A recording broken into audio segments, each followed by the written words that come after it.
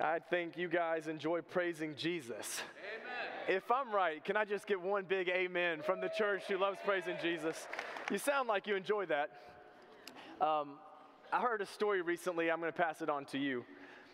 Man and his wife lay down one evening to go to sleep. It was uh, thunderstorm kind of weather, quite like what we've been experiencing around here in Murfreesboro, Tennessee. They laid down, Rain is pounding the house. They can hear the distant thunder, but they go off to sleep. At about three o'clock, somebody bangs on the front door pretty loudly. They startle awake, and the guy jumps up and he says, I'm gonna go check and see what's going on downstairs. So he goes downstairs and he looks through the little glass panel in the door and he sees a silhouette of a large man knocking on the door. And he just opens the door ever so slightly and he says, Can I help you? And the, and the man says, well, It's storming out here. I know it's three o'clock in the morning. I need a push. And the, the man of the house says, Look, it's storming. It's three o'clock in the morning. Good luck, bud. I'm not coming out to give you a push right now. You know, so sorry. He shuts the door and he goes, he locks it. He goes back up to his wife and he lays down. And he says, kind of reports the story. It was a man, it's raining, three o'clock in the morning. He's asking for a push. And she said, Well, what, did you give him a push? And he said, No, I'm not, I'm not doing that. And she said, Honey, you ought to be ashamed of yourself. She said, If it was you, in the rain, three o'clock in the morning, what would you hope your neighbor would do? He says, All right, all right. He goes back down, opens the door. The man's not on the porch, so he calls out into the night. He says, Are you still there? The man says, Yeah, I'm still here. He says, Do you still need a push? Yeah, I need a push. He says, Well, where are you? I can't see you. And the man says, Where, where do you think I am? I need a push. And he says, Well, I don't know where you are. And he says, I'm on your swing. It's kind of funny. It's creepy more than it is funny, if we're honest. Like when I heard, I didn't even laugh. I'm like, that is so creepy. That's why I have Kristen answer the door after midnight. You know, I'm just like, I, so don't, don't think about the end of it. Think about the part where he lays back down and he says, It's three o'clock in the morning, it's raining. I'm not doing that. Not gonna do that. Hey, we're in John chapter 13. Get your Bibles the story of Jesus who grabs the towel. So we're going to call the sermon Pick Up the Towel. Let me tell you what's going on as we open up to John 13. Jesus is in his final 24 hours before the cross. It's a holiday, Passover, and the holiday preparations are being made in an upper room by Jesus' disciples. So, this is supposed to be the time we all look forward to every year where you kick back, you recline, you enjoy a nice meal with your friends and family. Raise your hand if that's the place you love to be in life. Around the table with friends and family, that's where he's headed. When he gets there, he looks around the room, and sadly, Jesus finds dirty feet and proud hearts. Let me be more clear. He finds dirty feet because he finds proud hearts. And so the men are all around the table, and the customary washing of the feet has not happened. Why? Because you know the disciples were thinking, I'm not doing that. So turn to your neighbor, be interactive this morning, turn to your neighbor and just say to him, I'm not doing that. Okay. Here's what happened some of you turned to your neighbor and said, I'm not doing that. And all the rest of you just sat there and thought, I'm not doing that. and we know the disciples were arguing, so it's deeper than just, I'm not doing that. They're also saying, I'm not doing it for them. And that runs, that runs really deep. But enter Jesus. And this historic moment of extravagant servanthood and humility John 13, verse 1. It was just before the Passover festival. Jesus knew that the hour had come for him to leave this world and go to the Father. Having loved his own who were in the world, he loved them to the end. The evening meal was in progress, and the devil had already prompted Judas, the son of Simon Iscariot, to betray Jesus. Jesus knew that the Father had put all things under his power and that he had come from God and was returning to God. So he got up from the meal, took off his outer clothing, and wrapped a towel around his waist. After that, he poured water into a basin and began to wash his disciples' feet, drying them with the towel that was wrapped around him. He came to Simon Peter, who said to him, Lord, are you going to wash my feet? This just very quick exchange shows us just the magnitude of this moment when Peter spoke up, breaks the silence, and says, Whoa, don't do that. Are you going to wash my feet? And Jesus replied, You don't realize now what I'm doing, but later you will understand. No, said Peter, you shall never wash my feet. Jesus answered, Unless I wash you, you have no part with me. Then Lord Simon Peter replied, Not just my feet, but my hands and my head as well. Peter's on a roll right now. Jesus answered, Those who have had a bath need only to wash their feet. Their whole body is clean, and you are clean, though not every one of you. Here he's speaking about who would betray him. And that's why he said, Not everyone was clean. When he had finished washing their feet, he put on his clothes and returned to his place. Do you understand what I've done for you? He asks them, and he's asking you and me this morning. Do you understand what I've done for you? You call me teacher and Lord, and rightly so, for that is what I am. But now that I, your Lord and teacher, have washed your feet, you also should wash one another's feet. I have set you an example that you should do as I have done for you. Very truly, I tell you, no servant is greater than his master, nor is a messenger greater than the one who sent him. But now that you know these things, you will be blessed if you do them. It is absolutely impossible for me to put into words what has just happened the King of Kings, the Lord of Lords, the mighty God, the Prince of Peace, the wonderful counselor, the everlasting Father, the great I am, the bread of life, the light of the world, the Logos behind all creation, has got down on his knees, grabbed a towel and 12 men's stinky, dirty feet, and he's washed them with his hands. I cannot describe that to you. The best I could imagine would be the Queen of England knocks on your door and says, Would you let me in? I'm here to scrub your toilet. To which you would say, No, not that, not you. And even that is so infinitely anemic to what is actually happening with Jesus washing these disciples' feet. When you see a towel, I pray that this lesson hits you again from John 13. Do you know what the towel of Christ means? The towel of Christ teaches disciples of Christ to do that even for them. I'm not doing that, you say. And the next time you say, I'm not doing that, and especially not for them, remember this story, will you? And remember the example Jesus says, that he has set for us. So at the end of the chapter, John 13 and 35, he's going to say, A new command I give you love one another. Well, that's not new. As I have loved you, so you ought to love one another. And by this, all men will know that you are my disciples. Emphasis on as I have loved you, which pairs then the beginning story and the end of the chapter so that what we get is this massive example that all of us are called to follow. And what I want to do then is break down the example of Jesus in four steps. What exactly did he do? How are we supposed to follow it in these four steps? Starting with where you might not expect us to start the example of Jesus does not start when he gets up from the table. His example starts with what he's doing when he sits at the table first. Number one, if you're taking notes, they're underlined on the screen. Here we go. Jesus was humble because he was secure. That's the first example that he sets for us. Before he even gets up from the table, Jesus was humble because he was secure. Let me explain. We know from Luke's account what the disciples are talking about around the table, and it is ugly. They're having an argument about who's the goat, the greatest of all time for the rest of you. They're having an argument about who's the greatest, who gets the positions of power in the kingdom. Jesus is witnessing this argument, he hears it. And here's what they're doing they know that Jesus is king they know he's, he's ushering in the kingdom of God. They know that there are positions of authority in his kingdom.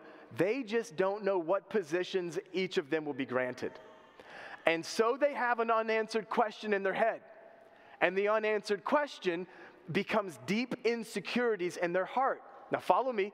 the deep insecurity in their heart means everybody around the table is now a threat. Everybody is in competition with one another. And those deep insecurities keep them paralyzed in serving one another because they see one another as threats in the, the great game of life. And you don't serve the one that is threatening to you. But in contrast, verse 3 before he gets up from the table, the Holy Spirit reveals to the Apostle John that Jesus knew with great confidence, with great security, that the Father had put all things under his power. Jesus knew he was from God, and Jesus knew he was returning to God. So he got up. Jesus knew he had security and confidence as he was meditating on his position in God and on the love of God. So he gets up from the table. One thing leads to the, to the other. Verse 3 precedes verse 4, not just mathematically, but in principle. So he gets up from the table. This is what is true. It's always the secure who are humble. G.K. Chesterton. It's always the secure who are humble. And so then you wonder, how can we get to the very position that Jesus was in in verse 3 that prompted him to verse 4? I was reading some John C. Maxwell on feelings of su- success and security in this life. I just want to read to you something from uh, Maxwell. The continual search for the feeling of success and security is one of the main reasons people are so miserable. If you chase this feeling, by accumulating wealth or stacking accomplishments, you will doom yourself to a continual roller coaster, changing from successful to unsuccessful, secure to insecure with every mood change. Life is uncertain, emotions aren't stable. The feeling of success and security that comes from the world can be taken by the world at a moment's notice. So, the only way if it's not accumulating wealth, if it's not stacking accomplishments, if it's not reaching a certain status, the only way then to truly feel secure is to practice what Jesus was practicing in verse 3 God loves me. I'm going home to the Father who has prepared a place for me. I have a place in God's kingdom. Earlier, I asked you to repeat something after me, and some of you did. Would you guys be willing to practice this? Verse 3? Just to see if verse 4 doesn't follow? Let's practice it, okay? I'm gonna say a line, then you'll say it.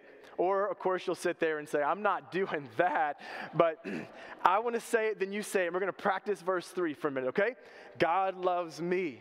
God loves me. I am going home to the Father. I have a place in God's kingdom. That's practicing what Jesus was doing at the table. Meditating on the love of God in his secure place in God's love. What happens when we do that? And I, let, me, let me be honest, I'm gonna get to this. For a while, I thought about this as soft Christianity. Like, get to the, the meat, the real stuff. This cannot be, this is just emotional fluff that preachers do because, you know, it, it, it, makes people feel good and stuff. I don't agree with that anymore. Jesus was meditating on these things in verse 3, church.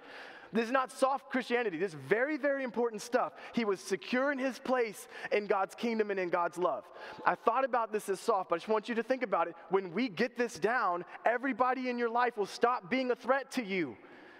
It will all stop being a big competition. I'm just secure in God. And then you'll be the one free to serve people out of that place of security. God loves me. I'm going home to the Father. I have a place in God's kingdom. I'm stable. I'm secure in His hand. The others were arguing about their insecurities. That's what made them unfit to grab the towel. And it's what made Jesus fit to grab the towel. If we go down one step deeper in all of this, I want you to notice this. The greatest motivation to serve, therefore, is not the need in front of us, but the love of God within us. Everybody sees the need, but not everybody's motivated to serve. Jesus saw the need, but it was the love of God in him that leads to the so in verse 4. So he got up from the table and he picked up the towel. Here's the next thing he did he trades the table for the towel. The table oh, the holiday table. It's just time to relax and eat. It's like that rest you work all year for. It's that reward, the divine reward of just sit back, football games on, your favorite meals in front of you, your favorite people all around you. And Jesus trades that in. He's got less than 24 hours. This is his last meal. If anybody should have just been entitled to sit down and to relax, it's Jesus. But he trades a posture of relaxation for a posture of action as a servant. He takes up the towel. He got up from the meal, took off his outer clothing, and wrapped a towel around his waist. I'm not going to wrap this one around my waist for the end of the sermon, you know, and all that, but I'll tell you that the towel was only supposed to be picked up by the lowliest of lows. This is a servant's job.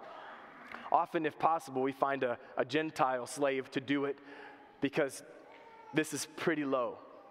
And Jesus trades the table for the towel. I just want you to notice why he does it. It's the holiday, and he's only 24 hours from glory, but John tells us he loved them to the end. He saw in this meal more divine purpose than just his own comfort. He saw purpose in this beyond relaxation even though he's 24 hours away. So Paul would say it like this I press on to reach the end of the race and receive the heavenly prize for which God, through Jesus, is calling us. Like, we're not gonna just kind of finish weak, we're not gonna peter out. We're not going to grow tired of doing good. We're not going to end with the fizzle. Everybody's got to have the finish strong mentality that comes from Jesus right here. So let me do something I very rarely do. I'm going to address a, a, a, population in this church that I don't speak to directly very often. I would like to talk for a minute to the older members of this church. I didn't say old, I said older, by the way, in case you didn't hear me. Members of the church. I don't speak to you very often, just, you know, just us. Everybody else, take a break for a minute. To the older members of the church, listen to what we just read. Jesus is in his final hours and he finds purpose for his life beyond simply being comfortable. He finds purpose. Here's the message you're still here, God still has a plan for your life. If you're still here, God still has feet for you to wash. If you're still here, God still has something for you to do. And I know you might think, especially my generation has already written you off and moved on. That's not true. You still set the pace, you still lead. And the older generation, when you get your hands dirty, you're leaving that legacy of finishing strong to the very end. He loved them to the very end. I like this quote. I'm not, I'm not at this age, but it's when you cease to make a contribution, you begin to die. Well, let's finish strong then. But to do that, we're going to have to dismantle the deception behind retirement in this day and age. By the way, congratulations for all of you who are retired. Don't hear what I'm not saying. I hope you enjoy your retirement, but we have to be very careful to dismantle the kind of retirement that woos us to throw in the towel and call it quits. Because if you're still here, there's still purpose, there's still a plan, and there are still feet to wash. So somebody needs to nudge this man and say, Jesus finished strong. Now, again, I hope you have lots of moments like this. My goodness, you've earned rest. But there's still a plan if you're here. There's still purpose and there are still feet to wash. And you still set the tone, you still set the pace. And while I'm talking to the older members, let me switch gears. I'm going to talk to the youngest members of this church. We've got to leave the version of childhood that shields us from all responsibility. There is a version of childhood that is a deceptive version that is not God honoring, which is now here, here. You don't need to carry any weight or practice responsibility in your childhood. 10 year olds, it's time to pick up the towel.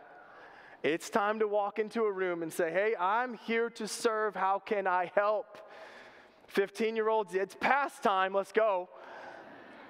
25 year olds, it's time to leave the version of childhood that says, I'm shielded from all responsibility. I'm going to put that on others. All right? Now, Jesus lived in a pattern.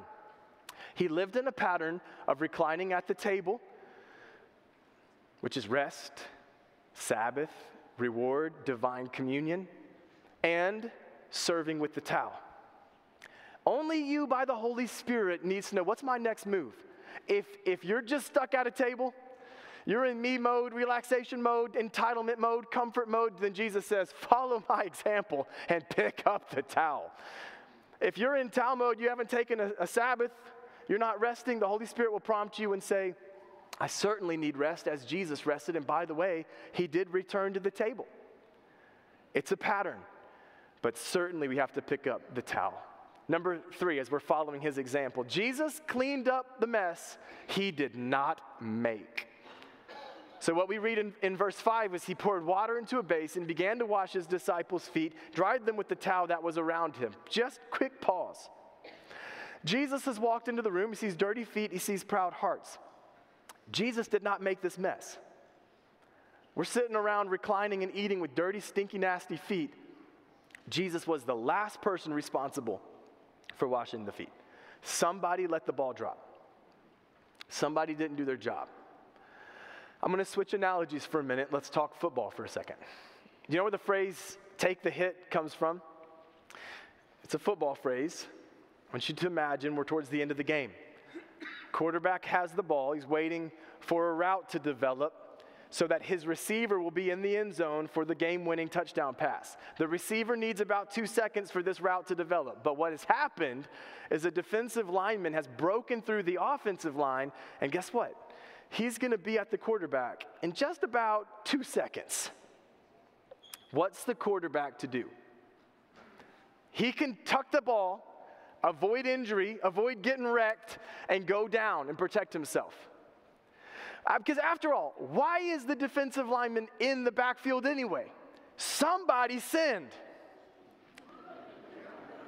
Looks like 55 did in this picture. Somebody messed up. He missed his block. Or the offensive lineman coach doesn't know how to do his job.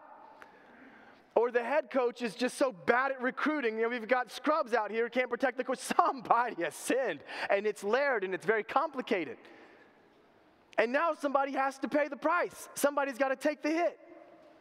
And the quarterback can do that and still get this ball off and win the game and deliver the team from the mess that he did not create. Maybe that's what he chooses to do. Or maybe he doesn't and he brings 55 over and puts him in front of the media.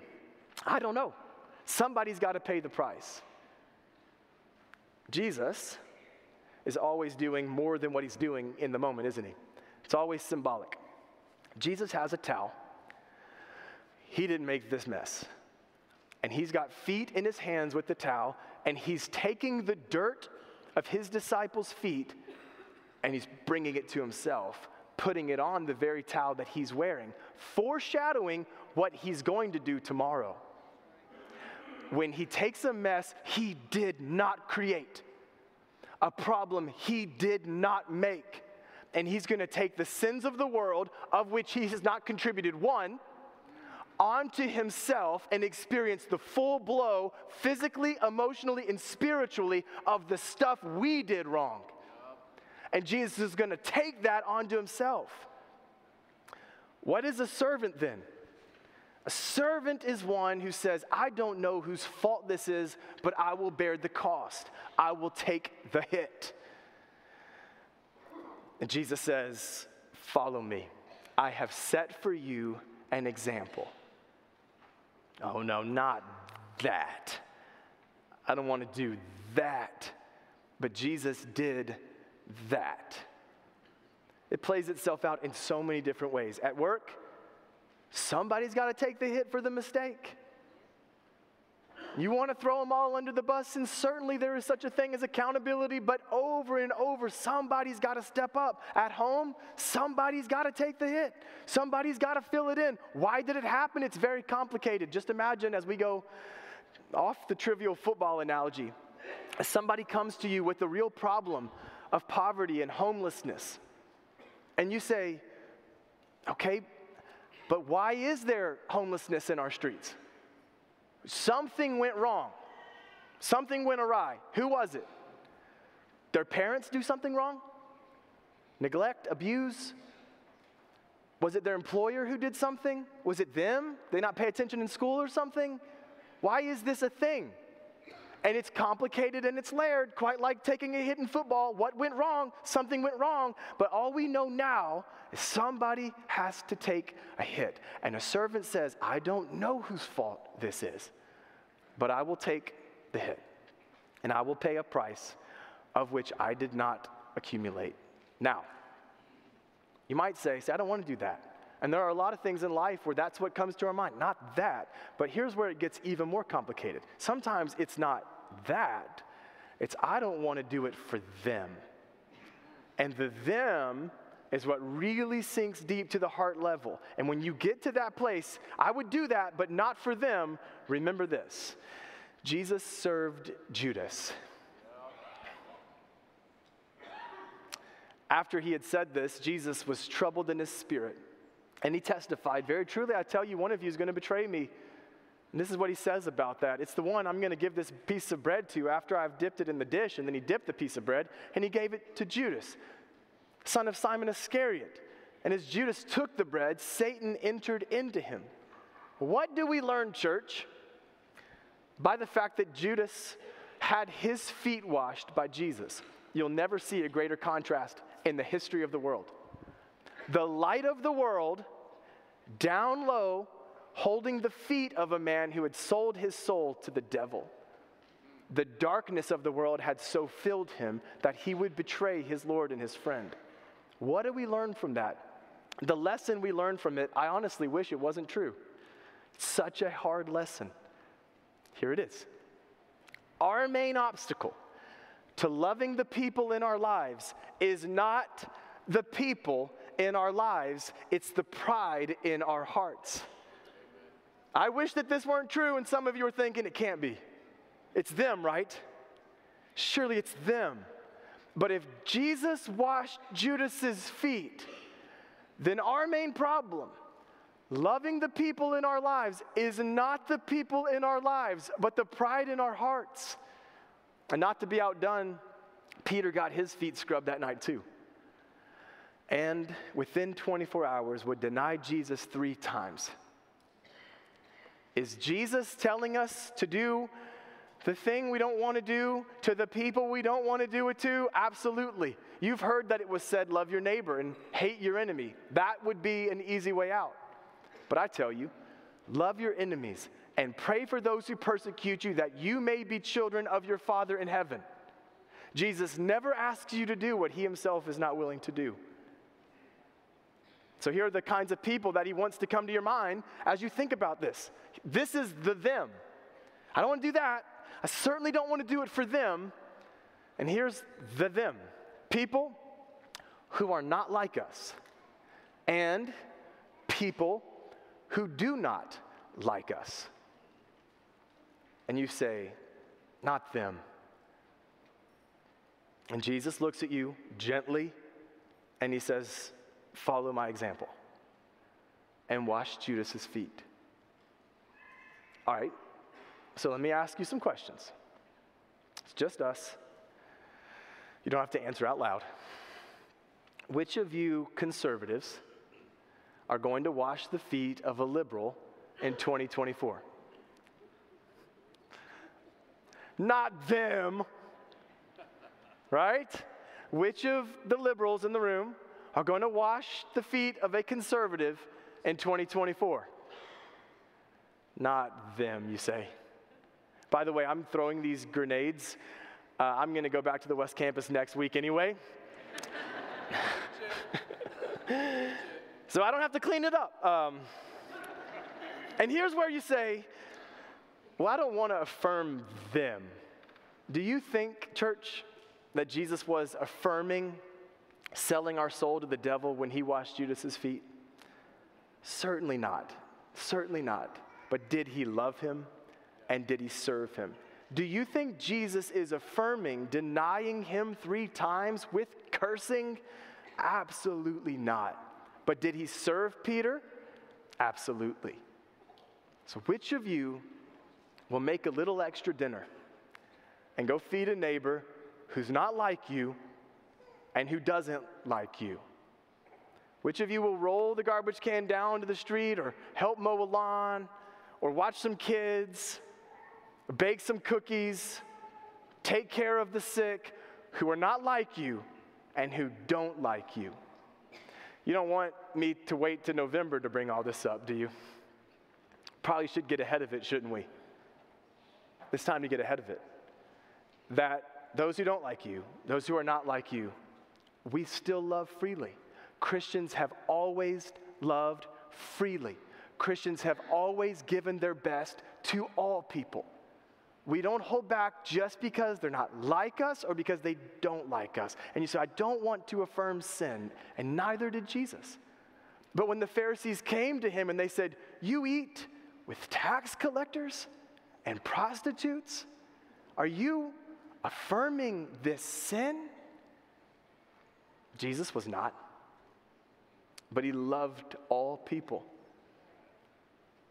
That even for them? Absolutely.